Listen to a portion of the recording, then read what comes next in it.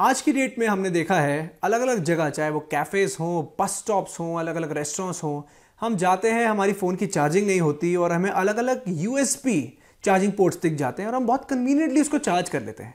लेकिन अगर आपको पता है, आजकल एक नए टाइप की हैकिंग आ गई है, जिसे हम जूस चैकिंग कहते हैं। ये है क्या? सबसे पहला सवाल।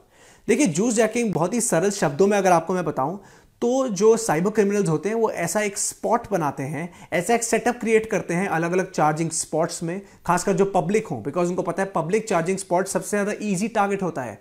वो ऐसी जगह पे अपना मेलवेयर सेट कर देते हैं, जिससे उनको पता है जब आम जनता वहाँ जाएगी, अपना फ़ोन चार्जिंग पर लगाएगी तो जो मेलवेयर है, वो आपका डेटा इंक्रिप्ट कर देगा और उससे कई सारी, जिसे कहते हैं साइबर क्राइम कर सकते हैं। आपका डेटा जा सकता है, आपके फ़ोन का पूरा एक्सेस इन साइबर क्रिमिनल्स को बहुत आराम से मिल सकता है। और सबसे मज़े की बात यह है कि आप खुद ही चल के इन स्पॉट्स पे जाएँगे, अपना फ़ोन चार्ज करेंगे। आपको तो ये लगेगा कि मैं अपना फ़ोन चार्ज कर रहा हूँ, लेकिन आपको ये पता नहीं लगेगा कि कब वो मेलवेयर आपके फ़ोन में आ गया है और कब साइबर क्रिमिनल्स को आपके फ़ोन का सेंसिटिव डेटा का पूरा का पूरा एक्सेस मिल गया है।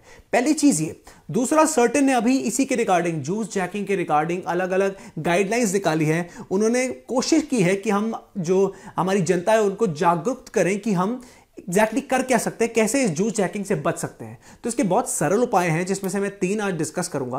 पहला ये कि आप, आपको ये सुनने में बहुत अजीब लगेगा, लेकिन आपके पावर बैंक्स ज़्यादा ट्रस्टेड हैं रादर देन ये जो पब्लिक जो हॉटस्पॉट्स होते हैं, जहाँ से आप चार्जिंग कर सकते हैं। क्यों? क्योंकि पावर बैंक तो आपका है, आप उसको हैंडी रखिए। आप कभी भी ये फ्री जिसे हम फ्री वाईफाई कहते हैं फ्री चार्जिंग स्पॉट्स होते हैं, इनमें कभी मत जाइए, क्योंकि यहाँ पर जूस जैकिंग होने के पूरे चांस होते हैं। पहला ये। दूसरा, आप ये याद रखिए कि आपका सेंसिटिव डेटा आज बहुत वलनरेबल है। वो किसी के भी हाथ में जा सकता है और कोई too good to be true situation हो। जैसे फ्री चार्जिंग स्पॉट एक too good to be true situation है। सर्टी यही कहती है कि जब तक आपको पूरी तरह इस बात की तसल्ली ना हो कंफर्मेशन ना हो कि ये सोर्स बिल्कुल जो है सेफ़ सोर्स है। पब्लिक सोर्स को हम सेफ़ सोर्स नहीं बोल सकते। तो जो अगर आपको ये पता है कि ये सेफ़ सोर्स है, अगर आपको ऑफ़िस जाते हैं, वहाँ आपको पता है चार्जिंग स्पॉट एक सेफ़ जोन है। सेफ़ आपकी स्पेस है, वहाँ पर आप कर सकते हैं। और तीसरा सबसे महत्वपूर्ण यह है आपकी नॉलेज आपको जागरूक होना पड़ेगा। आज आप एक स्मार्टफ़ोन यूज़ कर रहे हैं, आपको पता होना चाहिए कौन से नए नए टाइप के साइबर क्राइम आ गए हैं। अगर आपको यही नहीं पता होगा कि जूस जैकिंग होती क्या है तो कल को आप इसका शिकार बहुत आराम से बन सकते हैं। तो तीसरा सबसे महत्वपूर्ण यही होगा कि आप जागरूक रहें और इसी से, इसी ज़रिए आप जूस जैकिंग से ज़रूर बच सकते हैं।